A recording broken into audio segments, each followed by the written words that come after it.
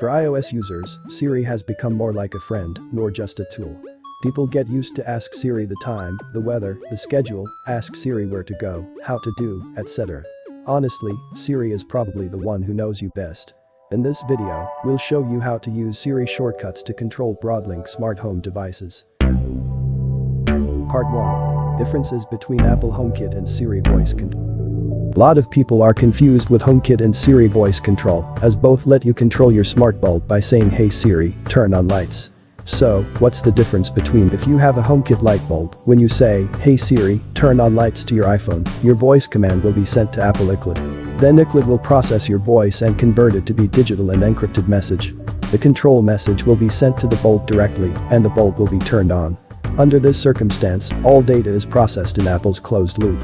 If you have a Siri-supported light bulb, not HomeKit, when you say, hey Siri, turn on lights to your iPhone, the same thing as your voice command will be sent to Apple iCloud, processed there and converted to be digital and encrypted message. The difference is now the control message will not be sent to device directly but trigger Broadlink app API to send the command to Broadlink Cloud. Then Broadlink Cloud will send the control message to the bulb and the bulb will be turned on. Now let's have a summary.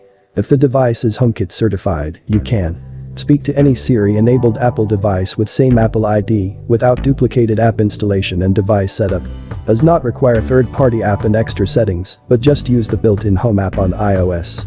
Support voice control of all functions available on Home app. For example you can say hey Siri, dim the lights without specifying the exact brightness. But for Siri shortcut you can only control devices to certain fixed states such as hey Siri, dim the lights to 10%. Also, as an ecosystem, you can interact the device with other HomeKit products originally. However, the disadvantage is obvious. HomeKit is good if you don't care how much it costs you, as the final product cost could be doubled or tripled compared with normal ones.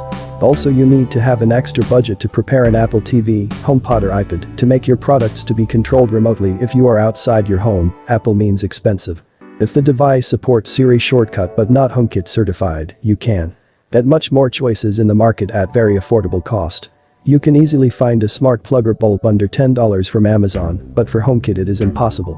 You can use voice control no matter where you are you don't need to spend extra money to add an Apple TV just for remote control. Of course there are something Siri shortcut can't do. If you want to control them from different Apple devices, you need to install the app and set up shortcut on every Apple device. And Siri shortcut can only control fixed status as we explained before, but most of time it is quite enough. Part 2. How to set a Siri shortcut in Broadlink app. If you already finished the setup of devices, only three steps you can start to use Siri voice control. First, open the device interface. Next, tap the menu in the upper right corner and select property. Last, choose add to Siri, now you can set up the operation.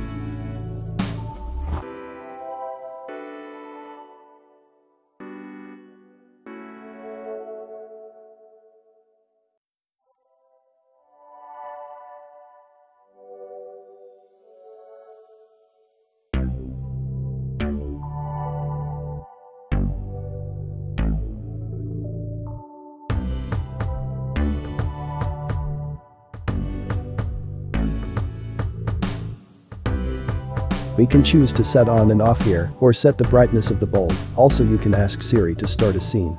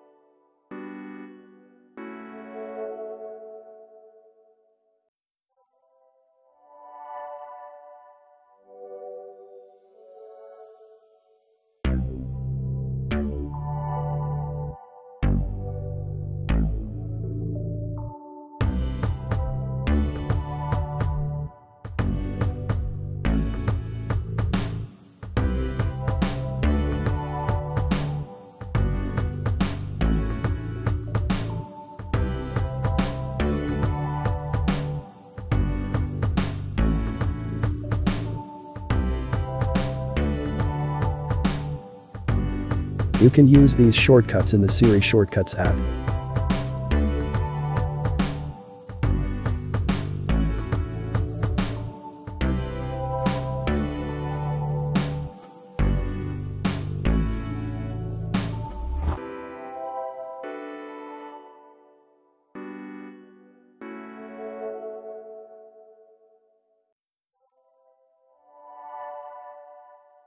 Or, just call Siri. Hey Siri, time for dinner.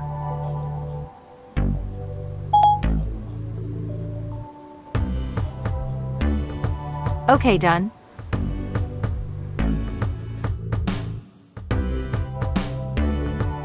Hey Siri, let's go party.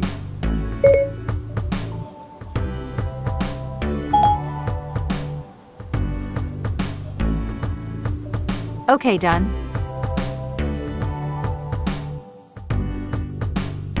Broadlink, build your ideal smart life.